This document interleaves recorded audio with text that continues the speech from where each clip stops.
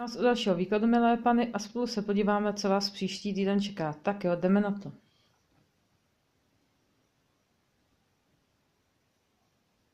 Plány, co jste měli. Jakoby se snažíte nějakým způsobem přehodnotit. Přehodnotit své plány. Máte pocit, že něco ve vašem životě může počkat? Že Tady jde hlavně i o to, zda jdete správnou cestou. Je to něco, co teď momentálně jakoby zašíte. A zašíte to víc, než nějaké své plány. Taky si uvědomujete, že se zase trošku ztrácíte v tom, jakoby v těch svých prioritách.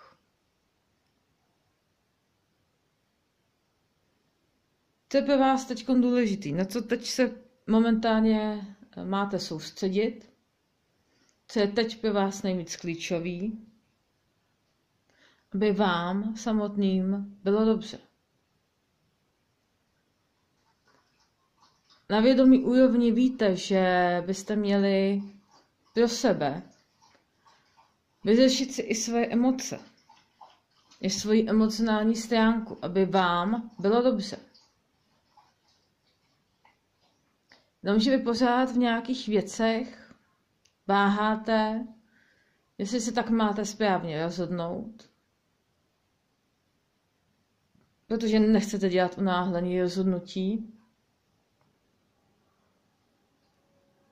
Ale teď jakoby nevíte, co s tím.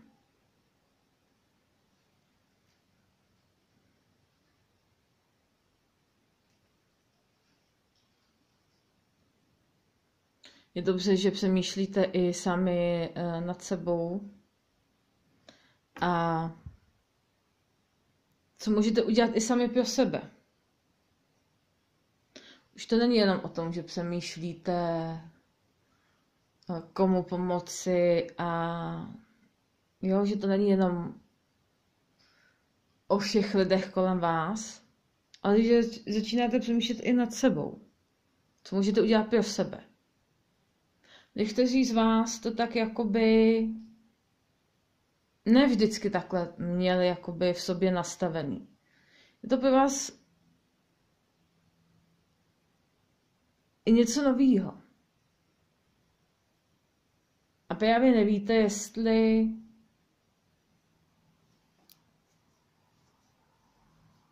přišel i tadyhle ten čas i na tyhle ty věci. I na takovýhle volby, i na takovýhle rozhodnutí. Ale vy se toho bát vůbec nemusíte. To jsou vaše obavy. A nebejte to, že jste do toho jakoby nějakým způsobem jakoby eh, donucený a dotlačený.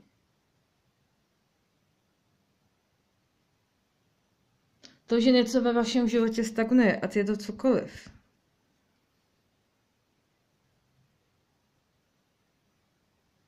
je to přesně z tohohle důvodu,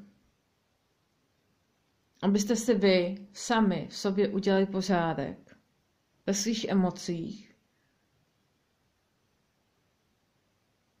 a uchopili to. Tohle je pro vás učení. Uchopit i tohleto. Každá mince má dvě strany.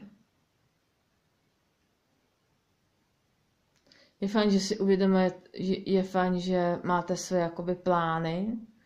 A teď ještě, ty plány mají dobrý základ.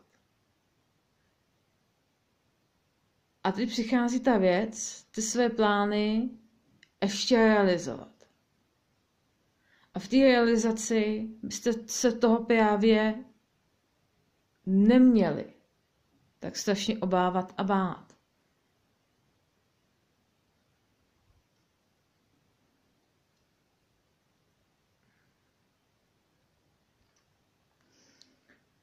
A tohle o tom budete nejvíce jakoby řešit ten příští týden. V tomhle tom duchu se bude níst.